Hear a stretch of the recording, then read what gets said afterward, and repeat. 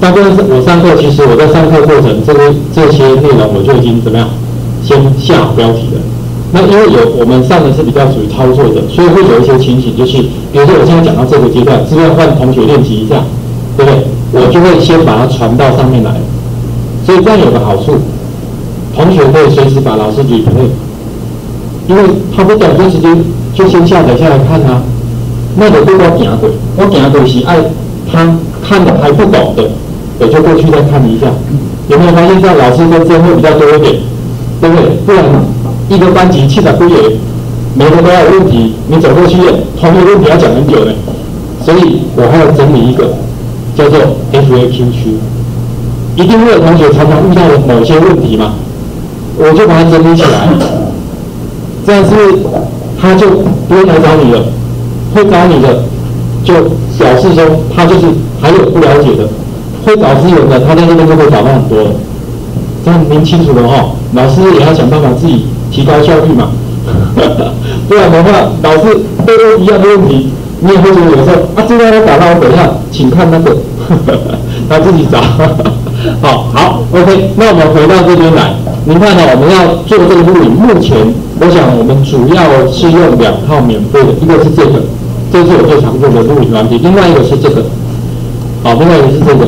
那在录影开始之前，其实老师要稍微先准备一点点东西。准备哪些东西？当然，您直接用那个一般我们国的客户哦，麦克风，我是不反对啊，但是比较贵一点。因为呢，每一台电脑，尤其是一般我们那个白色那个有没有？就有麦克风接进去那个，因为那个会受到不同电脑的什么音效卡影响，所以我比较不建议用那一种。因为每台设定不大一样，如果可以的话，老师可以用这种，这一种的可能会比较好一点呐。那，诶，我要给你看，老师也看不清楚，对不对？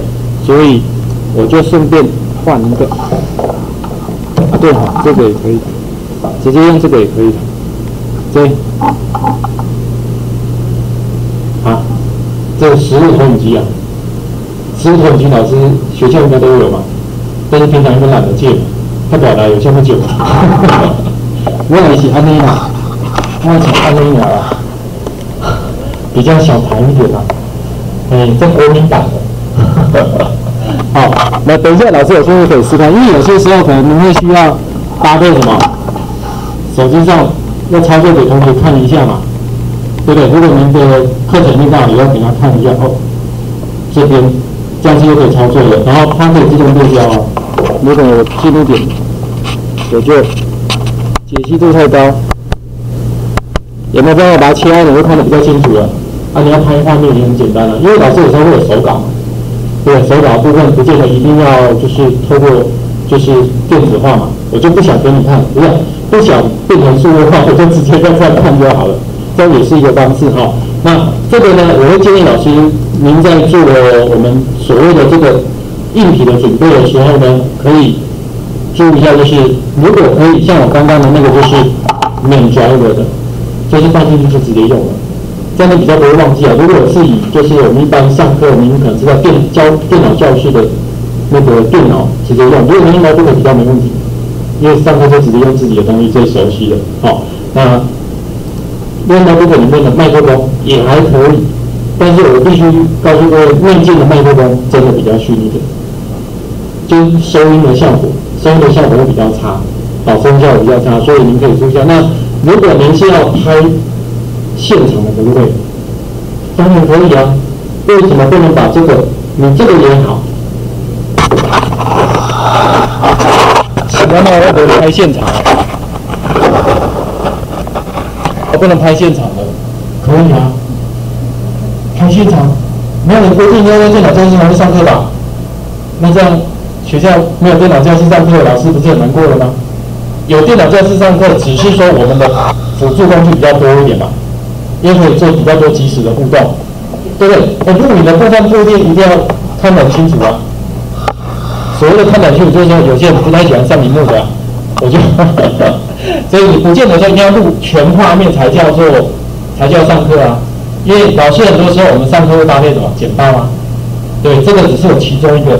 就是给你比较 live 有现场参与感的感觉嘛，对不对？好，所以这个我还是对下好了哈。这样大家比较不会这个尴尬。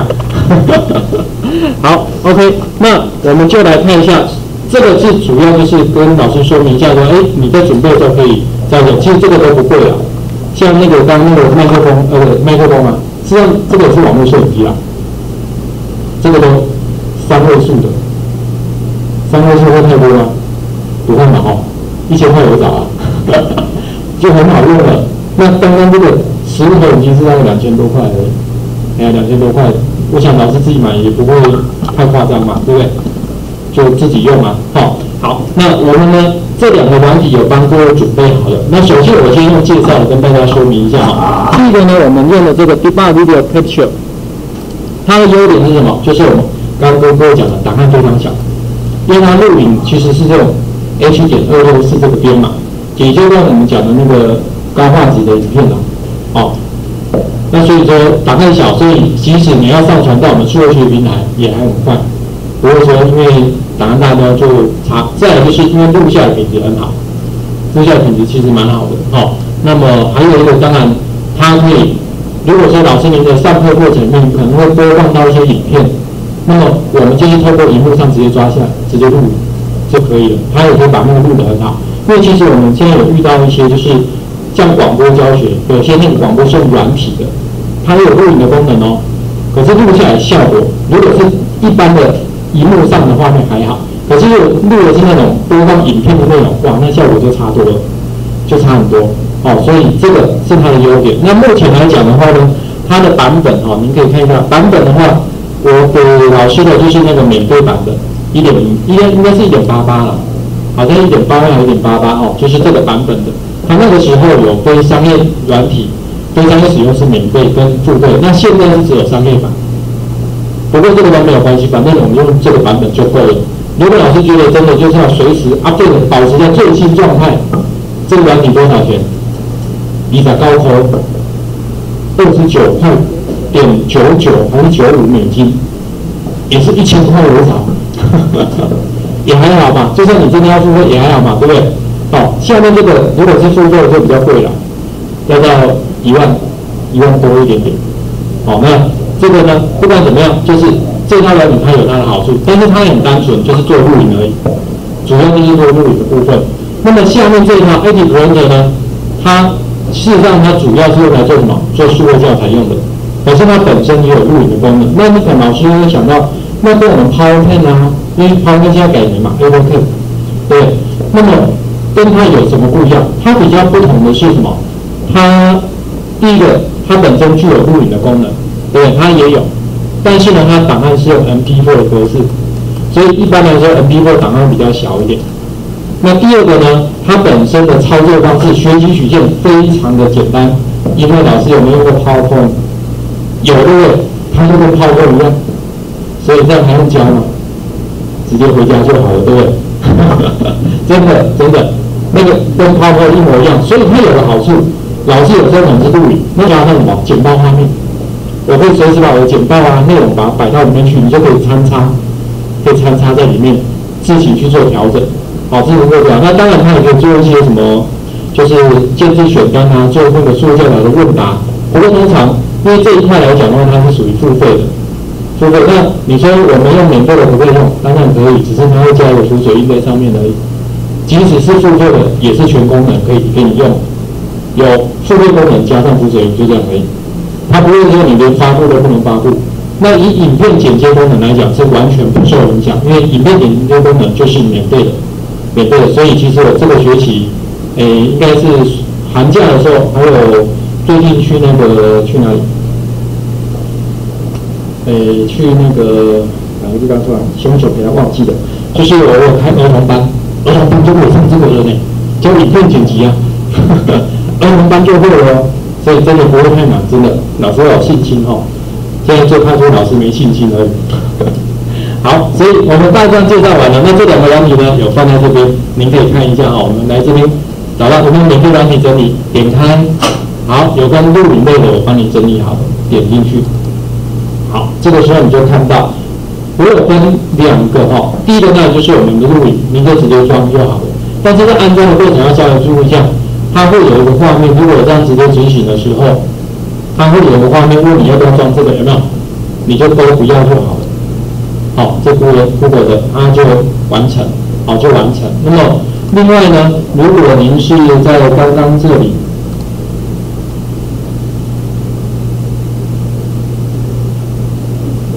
好，我现在是这样，好，这个其实我等一会多装了，好，哇，刚刚录的那一段哇跳掉了，好，好没有关系。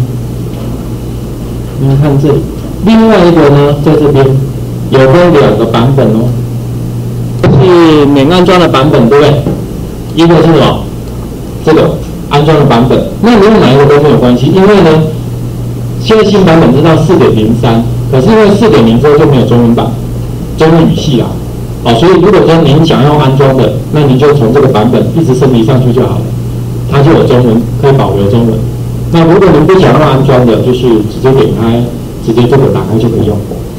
OK，那我先把画面还给您，您先找看看这两个软体，这都可以带回去的，都可以带回去的，没问题。